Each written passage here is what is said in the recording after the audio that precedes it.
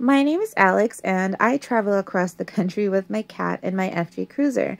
Last week, I shared some of the minor changes I made to the RV that had a big effect on the overall look. This week, Shadow and I are driving through Yellowstone and going to the Grand Tetons for the very first time.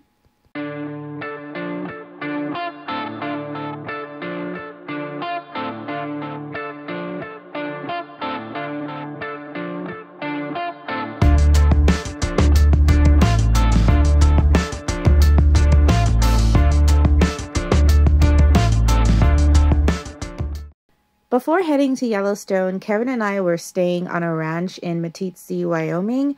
So we drove up from there to Cody and then took what I believe is a northern entrance into Yellowstone and then down into the Grand Tetons.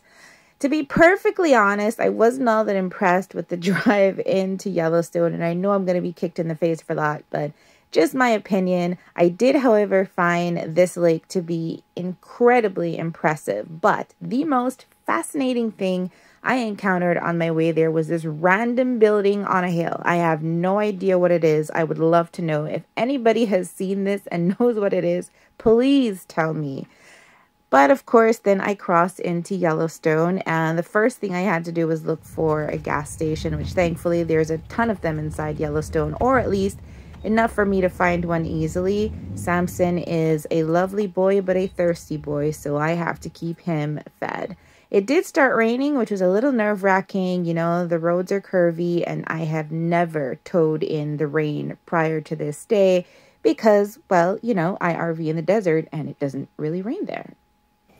So, as full disclaimer, I actually did not fill my tanks before parking which is going to make what I did next seem twice as stupid and maybe you'll even feel a little bit sorry for me. So here's what happened. I get to the camping spot and I realize it's a one-way street, they say, and the camping spot's on the opposite side for me to get in. Makes no sense. So I cut across through Kevin's empty spot and decide to just make a turn. Well, the FJ made the turn, but the trailer can't.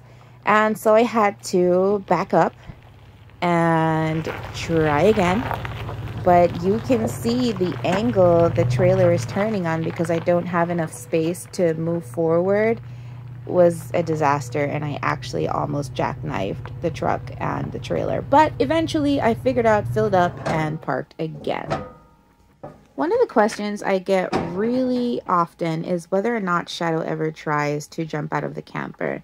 So after I put him inside, you can see he's, you know, poking his head out. He's curious. He wants to know what's out there. But the door is open. The screen door is open. He realizes I'm on the other side of the RV and he still has no interest in coming outside. This was one of two trips I took to the Tetons while staying in Wyoming, and I was only spending the night, so I only put my jacks down and stayed hooked up. But I did do my usual OCD cleaning. If you're wondering why I have two toilets, one is a composting toilet for when I'm off grid, and because I have the space, I decided to keep both toilets. Then Kevin came by to help me set up my hammock. So you clip one side in, and then watch.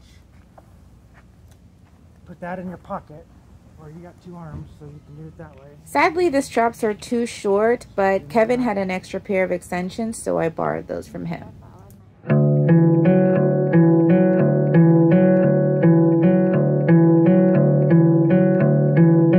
One of my favorite things about traveling on the road is just opening up the world for Shadow, who, even though he only experiences it all through a window or a door or the FJ Cruiser, he is still fascinated by everything outside.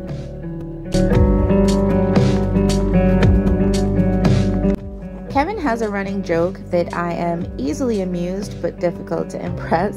But this is definitely one of those instances when I was very impressed by what I was looking at. I don't know what I expected when I thought of the Grand Tetons, but Decepticon looking mountains on Earth was not what I had in mind. And you know, the pictures, the videos, none of that does it justice.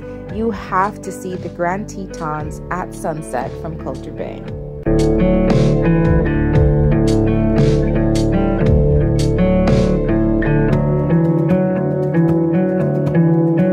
I then had my last night in in the Grand Tetons, and the following morning it was time to head out.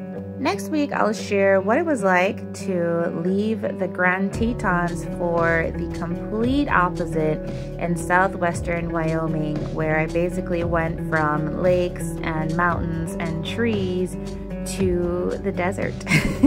it was beautiful, but it was one heck of a change. I also want to share that I launched my Patreon recently. I do spend a lot of time trying to diversify the outdoors, get more people of color and women traveling by themselves to feel more empowered to be outside and just ignore all the hate that we sometimes get. So if you want to support, that would be great. I'll leave a link below and I will see you guys next Friday. Bye.